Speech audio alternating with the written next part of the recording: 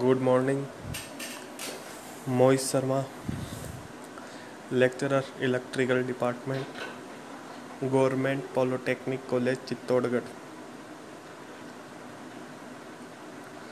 subject name switch gear and protection subject code E E three zero nine mho relay पढ़ेंगे। Mho relay एक type distance protection का type है। Transmission line के protection के काम में आती है। Basically mho relay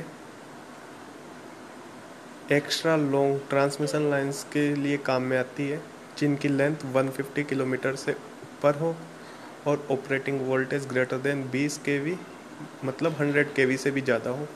उस केस में अपन mho relay extra long lines के लिए यूज़ करते हैं। मोर रिले को एडमिटेंस रिले भी कहा जाता है।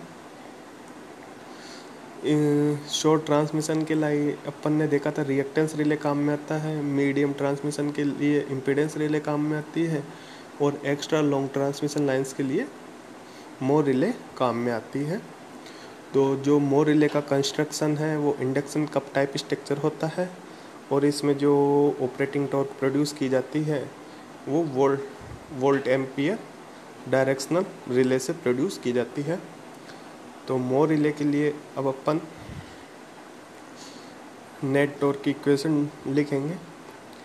K one B I cos five minus alpha जहाँ पे एल्फ़ा एंगल होता है, जो कि रिले में सेट किया जाता है minus K two V square minus K three जो फ़र्स्ट वाली टर्म है, वो ऑपरेटिंग टॉर्क प्रोड्यूस करती है वोल्ट करंट डायरेक्शनल रिले जो सेकंड टर्म है, वो रिस्ट्रेनिंग टॉर्क कहा जाता है।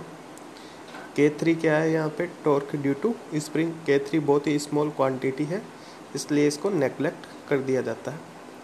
अब जब भी ट्रांसमिशन लाइन में फॉल्ट आता है तो रिले कब ऑपरेट करेगी? जब उसकी ऑपरेटिंग टॉर्क काय से ज़्यादा हो रिस्ट्रेनिंग टॉर्क से। और अंडर बैलेंस कंडीशन में बात करें, जब सिस्टम में फॉल्ट नहीं आ रहा हो, तब रिस्टर्निंग टॉर्क काय के बराबर हो जाती है? रिस्टर्निंग टॉर्क की वैल्यू ग्रेटर देन हो जाती है ऑपरेटिंग टॉर्क से तो रिले ऑपरेट नहीं होती है। तो रिले की ऑपरेट कब होएगी? जब सिस्टम में फॉल्ट आएगा, उस कंडीशन में ऑपरेटिंग टॉर्क किससे ज़्यादा हो जाएगी? रिस्टर्निंग टॉर्क से। तो यहाँ पे अपन ऑपरेटिंग कंडीशन लगाएँगे। K one V I cos five minus alpha किससे ज़्यादा होना चाहिए? के टू वी स्क्वायर तो यहाँ पे क्या हो गया? Operating torque is greater than restraining torque cos five minus alpha एक वी से एक वी कट गया। Cos five minus alpha is greater than K two by K one dot V upon में आई वी अपोन आई को left hand side में ले गए अपन यहाँ से।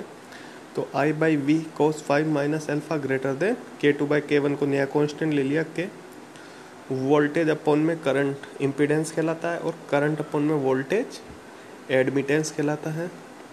तो यहाँ पे y cos five minus alpha greater than K y is greater than K upon में कोस फाइव माइनस एल्फा तो ये अपने पास कंडीशन आ गई जब रिले ऑपरेट करेगी। रिले की ऑपरेटिंग कंडीशन आ गई। Basically y is greater than K upon में कोस फाइव माइनस एल्फा क्या डिनोट करता है? एक सर्किल की इक्वेशन डिनोट करता है। जो पासिंग थ्रू क्या होता है? ओरिजिन से पास होता है। तो यहाँ पे अपन ने सर्किल ड्रॉ कर दिया आर एक्स प्लेन में। अगर कोई भी फॉल्ट आता है तो वो इस सर्किल के अंदर लाई करेगा। उस केस में ऑपरेटिंग टॉर्क काय से ज़्यादा होगी? रिस्ट्रेनिंग टॉर्क से ज़्यादा होगी और रिले क्या हो जाएगी ऑपरेट हो जाएगी। दूसरी कंडीशन अगर ऑपरेटिंग टॉर्क रिस्ट्रेनिंग टॉर्क के बराबर हो गया तो वो पॉइंट सर्किल पे लाई करेगा। उसमें रिले अगर थोड़ी सी भी फॉल्ट की वैल्यू इंक्रीज हो जाएगी तो रिले ऑपरेट कर जाएगी थर्ड कंडीशन है, जब सिस्टम के अंदर कोई फॉल्ट नहीं आया हो, उस केस में restraining torque greater than operating torque तो उस केस में रिले ऑपरेट नहीं करेगी। तो ये मोर रिले की करेक्टरिस्टिक थी आर एक्स डायग्राम पे। मोर रिले को एडमिटेंस रिले भी कहा जाता है, और ये इंडक्शन कप टाइप स्ट्रक्चर होता है इसका, और ये एक तरह की क्या है? डायरेक्शनल रिले है।